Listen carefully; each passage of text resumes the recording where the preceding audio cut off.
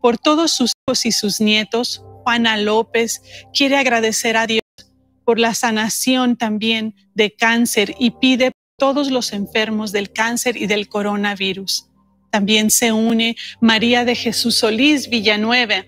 Ella